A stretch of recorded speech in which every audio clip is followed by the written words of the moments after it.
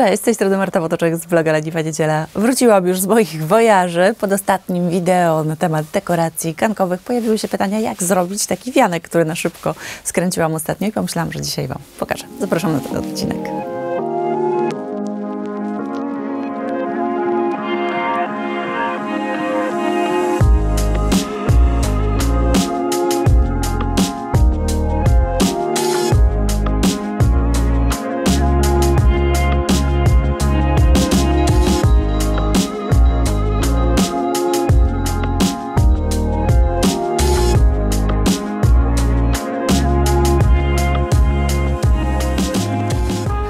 Koty tak się stęskniły, że król tutaj widzę jest. Chodź tutaj do mnie, co się stało?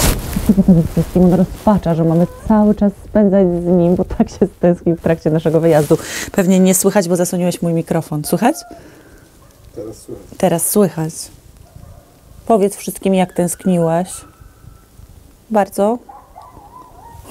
Dobra, idziemy robić wianek. Zmykaj. O tym wianku opowiadałam Wam ostatnio. Zrobiłam go tak dosłownie na ostatnią chwilę, bo szukałam mojego wianka, tego, który miałam w zeszłym roku od Marzenki Marideko. Nie mogłam go znaleźć, więc na szybko, chcąc Wam pokazać fajne dekoracje żeby te drzwi nie były takie łyse, zrobiłam ten. Skręciłam go, ścinając dosłownie hortensję o taksę yy, i przy niej sobie tak siadłam na tym, wiecie, po tym, tej, tej takiej podkładce i kręciłam na szybko. To nie jest idealna metoda. Najlepiej byłoby hortensję ściąć i potem wstawić ją e, do wody, albo nawet do wody z gliceryną. Też jest taka metoda. Jeżeli zastosujecie glicerynę do wody 1 do 2, to one się nawodnią, będą takie bardzo elastyczne i to jest taka metoda, która spowoduje, że te wasze wianki będą trwałe przez lata. Moja metoda była taka, wiecie, cięcie i wiązanie. I to spowoduje, że troszeczkę będą wam się kurczyły płatki. Także jeżeli chcecie taki wianek, wiecie, którego będziecie używać przez lata, to najlepiej jest zrobić właśnie taką metodą wideo o tym, jak ususzyć, to wam tutaj wrzucę, a jeszcze zamiast wody możecie właśnie tą mieszankę z gliceryną dodać, to już w ogóle będzie po prostu rewelacja. Oczywiście wianek, który wisi na drzwiach, dobrze też byłoby spryskać e, lakierem do włosów, dlatego że e, on, jeżeli promienie słoneczne będą na niego padały, będzie jednak robił się dość szybko beżowy. Najlepiej wyglądają wianki, które są w domu i nie pada na nie bezpośrednie światło słoneczne, ale my też chcemy coś powiesić, więc trudno. Trochę będzie cieszył, troszeczkę będzie beżowiał, tak jak wszystko teraz w ogrodzie. Nie było mnie w ogrodzie przez tydzień, tak się wszystko zmieniło. Kolory są po prostu niesamowite. Mnóstwo żółtego, mnóstwo czerwonego, fantastyczna jesień i przepiękna pogoda. Mieliśmy totalną mieszankę, bo najpierw byliśmy w Rzymie, potem byliśmy w Dublinie, także y, wszystkie pory roku po prostu zaliczyliśmy w przeciągu tygodnia. Ale nic, wróciłam, trzeba działać. Idę przygotować sobie wszystkie produkty potrzebne do zrobienia wianka i ściąć też kwiaty. Działamy. O winobluszczu opowiadałam Wam wideo o winobluszczu. Jeżeli nie widzieliście, to koniecznie zobaczcie. Ja uważam, że to jest chwast ogrodowy. Ale jest taki moment teraz, w październiku, kiedy on wybarwia się na tak fenomenalny czerwony kolor i wtedy go uwielbiam. Uważam, że dodaje tak niesamowitego koloru. Jeżeli nie przyjdzie przymrozek, bo to jest najgorsza rzecz. Jeżeli w październiku mamy tak, że jest piękna pogoda, liście się wybarwiają, przychodzi przymrozek, wszystko leci na dół. Ale jak go nie ma, to możemy się cieszyć niesamowicie długo takimi pięknymi kolorami i wtedy winobluszcz uwielbiam tak samo na, słuchajcie, na trawniku. E, Ja wiem, że właśnie wczoraj wszyscy powiedzieli, dlaczego ty się zachwycasz trawnikiem, ale ja lubię, kiedy trawnik jest chociaż przez chwilę tak usłany liśćmi w przeróżnych kolorach. Dla mnie to jest po prostu kwintesencja jesieni. E, Ja bardzo lubiłam te liście grabić. Jeszcze jak żyła Java, to ona po prostu wpadała w taką kupę liści E, i dla mnie to jest po prostu super. Jeszcze najlepiej mieć jakieś ognisko, kiełbaski, po prostu jest fantastyczna taka polska jesień, właśnie taka jak lubię, z pięknymi kolorami bardzo długo. No dobra, słuchajcie, biorę e, mój sekator, ruszamy. Dzisiaj zetniemy chyba trochę hortensji Vanilla Fraise i trochę limelightów i pomieszamy, zobaczymy co nam z tego wyjdzie. E, natomiast pytanie do Was, czy ktoś z Was lubił wskakiwać tak w taką, wiecie, ogromną kupę liści, czy tylko, czy tylko labradory?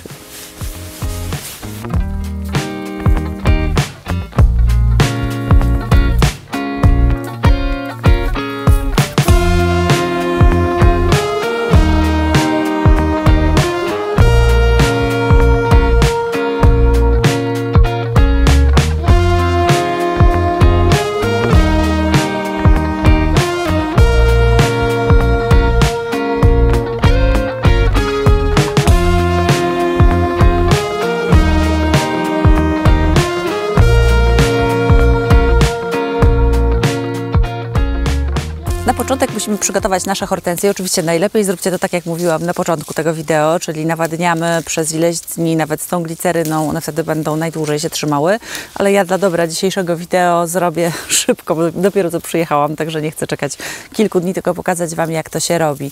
Najważniejsze, co trzeba zrobić po ścięciu, ja zostawiam sobie około 8 cm łodygi, ale myślę, że ona nam nawet nie będzie taka potrzebna. Usuwamy wszystkie liście. E, One nam nie będą potrzebne, będą niepotrzebnie zabierały wilgoć i szybciej nam się będą skręcały nasze kwiaty. Tak samo przed suszeniem. Zawsze usuńcie najpierw liście. O, nawet ślimaka mamy w gratisie jako ozdobę. E, I usuwamy wszystkie liście. Hortensje bukietowe, które dzisiaj zerwałam, one są dość duże. Jak zobaczycie, to kwiaty są, nawet z, te, z tych mniejszych starałam się wybrać, są naprawdę konkretne. I jeżeli będziemy montować w naszym wianku, to jedna jest naprawdę za duża. Warto podzielić je na te takie mniejsze kawałki. One mają wtedy takie malutkie łodyżki. Sobie je rozczepiamy i będziemy budować z nich takie mini, mini hortensje Annabelle. O. I będziemy łączyć je po kilka. Możemy wtedy połączyć różne kolory, na przykład Limelighta możemy połączyć razem z Vanilla Fraise i będziemy już sobie dokręcać do wianka właśnie takie maluchy. Do zrobienia wianka będziemy oczywiście potrzebować jakiejś bazy i bazy są przeróżne. Ja ten mój wianek, który widzieliście, który był na ganku, zrobiłam na takim z drutu. Nie pamiętam, gdzie je kupiłam, ale naprawdę są świetne i można wykorzystywać je raz po razie, tylko przecinając ten drucik, którym będziemy okręcać nasze kwiaty.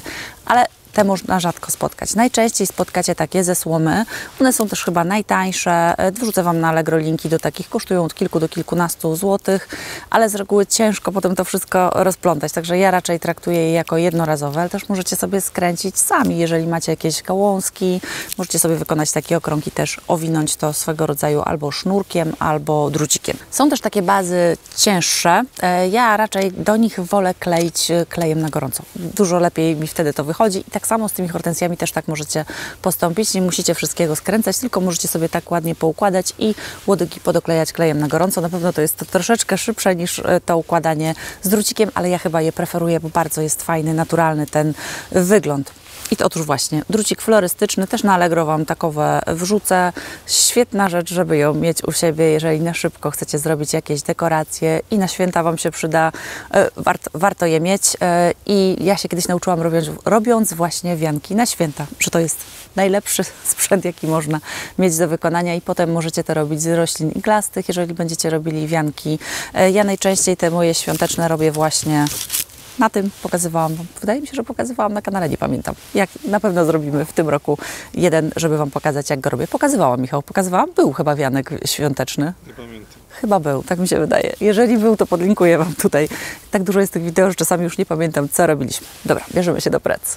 Będziecie też potrzebować sprzętu, żeby przeciąć Wasz drucik. Mój sekator ma tutaj taki fragment, który służy do cięcia drutu, także on jest wygodny, można pracować w ogrodzie i tutaj jest takie specjalne wgłębienie, którym można drucik przeciąć. To jest bardzo wygodne. E, I to tak naprawdę i kwiaty nam wystarczy. Możecie też wziąć oczywiście inne kwiaty z ogrodu, czy kawałki roślin zimozielonych. Możecie też wkomponować sztuczne rośliny. Ja tutaj akurat wzięłam sobie takie kuleczki, które są bardzo jesienne w odbiorze i mam takie jeszcze jabłuszka. Zostały mi chyba z dekoracji świątecznych, gdzieś mam tam w garażu właśnie takie. Zobaczymy, może się, może się przydadzą, może nie, ale przyniosłam, żeby pokazać, że można też tak. Słuchajcie, ja sobie teraz poodrywam kawałki tych moich hortensji, żeby mieć je na takich króciutkich łodyżkach i zrobię z nich sobie takie mini bukieciki o mniej więcej tej wielkości i będę je trzymając je razem, będę je obkręcać sznurkiem. Najpierw przygotuję, a potem pokażę Wam jak zacząć i jak po kolei dokładać. Najpierw warto sobie te mini bukieciki przygotować na stole, a potem już sięgać po kolejne i dokręcać do naszego wianka.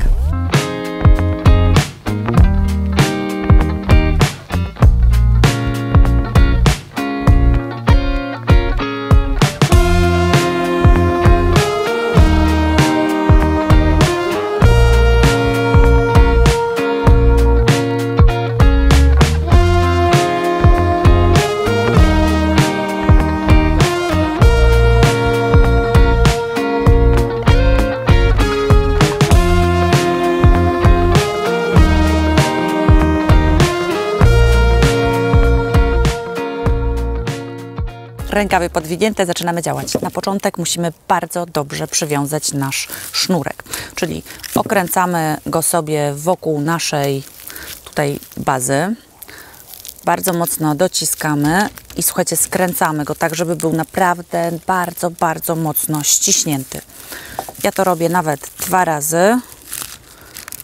Skręcam tak, żeby było naprawdę bardzo, bardzo ciasno.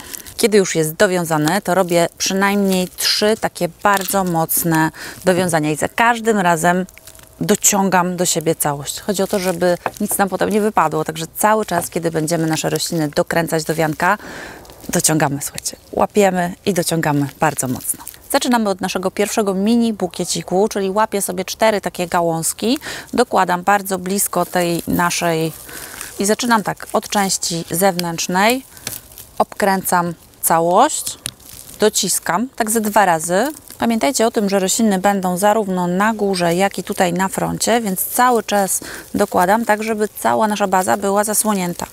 Dociskam sobie tutaj jedno do drugiego i bardzo mocno wjeżdżam pod kwiaty naszym drutem. I znów mocno zaciągam. Dwa razy obkręcam przy każdej gałązce, przy każdej takiej e, bukieciku. Zwróćcie uwagę, czy nie będzie widoczna nasza baza. Czyli jeżeli widzimy, że mamy tył jest ok, front jest ok, ale tutaj będzie widać, dokładamy kolejny pod spodem. Chodzi nam o to, żeby on się tak pięknie wypełnił, ale też jednocześnie, żeby te elementy nie odstawały w taki dziwny sposób. Stuszkowate kwiaty hortensji bukietowej niestety mogą mieć taką tendencję, dlatego właśnie wyłamujemy, robimy mniejsze, żeby to wszystko fajnie wyglądało.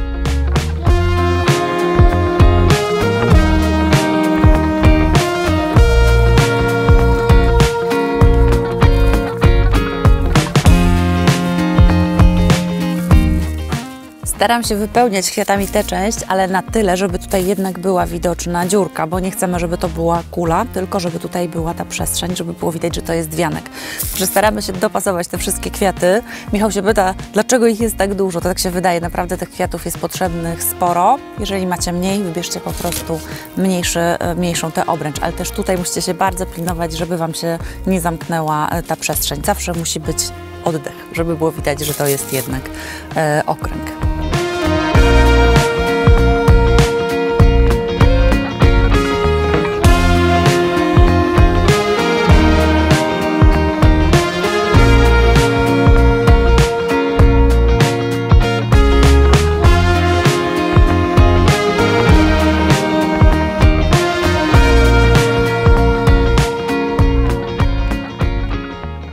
To jest wianek skręcony na szybko. E, Możecie, jeżeli coś Wam odstaje, możecie trochę dociągnąć tymi, ty, tym, tym naszym drucikiem. E, Ja tutaj parę takich miałam, które były trochę większe, troszeczkę je dociągnęłam. Sztuka mówi, że nie powinno być pewnie nic widoczne, ale wiecie, wiecie pewnie macie tak jak ja. Może tutaj są floryści tacy profesjonalni, ja to po prostu dziewczyna zerwała kwiaty i kręci, ale myślę sobie, że wiele z Was też tego nigdy nie robiła. To jest fajny sposób na to, żeby się zrelaksować. Teraz wchodzimy w taki okres, w którym będzie nam trudniej emocjonalnie i tego typu zadania uważam, że one nas fantastycznie oczyszczają. Dzięki temu możemy się zrelaksować, a nie ciągle tylko się stresować. Także polecam każdemu spróbowanie. Myślę, że przy każdym wianku, tak jak zawsze z praktyką przychodzi, jest coraz lepiej. Ja tutaj widzę sporo niedociągnięć, ale ciągle jest to coś, co jest z ogrodu. Wszystko z tych elementów można ponownie wykorzystać, także super, nie musimy gdzieś tam jeździć i kupować dodatkowych rzeczy, także ekstra. Oczywiście, żeby zakończyć, musimy uciąć nasz drucik. Zróbcie to z dość dużym zapasem. Kocham to po prostu w, tych, e, w tym sekatorze, że mogę sobie drucik obciąć. To jest dosłownie sekunda. Bardzo istotne jest to, aby drucik jeszcze raz porządnie dociągnąć.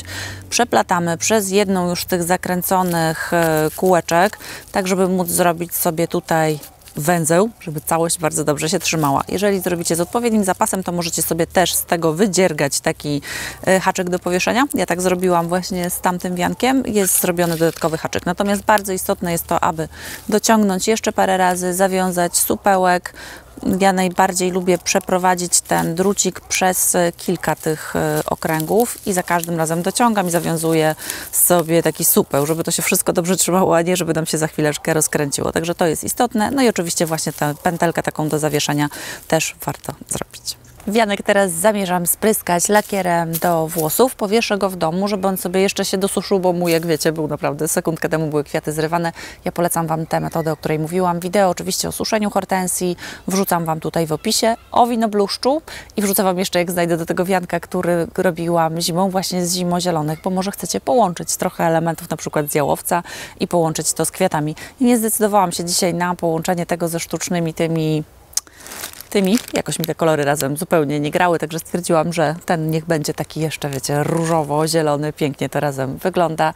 Tutaj możecie zobaczyć zarówno hortensję Vanilla Fraise, jak i hortensję Limelight. Uważam, że one fantastycznie razem wyglądają myślę, że też fajnie na rabacie byłoby je z sobą połączyć. Ja lecę do domu wieszać e, wianek, a chciałam Wam jeszcze pokazać, jak na ganku fantastycznie rozkwitły chryzantemy. Ostatnio, jak je sadziłam, to były w pąkach i mogłam sobie na kamerach tylko oglądać, jak rozkwitały, jak mnie nie było w domu, ale super wyszło, bardzo mi się te kolory podobają, zaskakująco bardzo podoba mi się też żółty. Natomiast dzisiaj już kończymy. Jeżeli wideo Wam się podobało, dajcie oczywiście kciuki w górę, nie zapomnijcie o zasubskrybowaniu kanału i wciśnięciu dzwonka, żeby dostawać powiadomienia o nowych wideo, które pojawiają się we wtorki o 9, w czwartki o 16 i w niedzielę o 9. Do zobaczenia w następnym odcinku.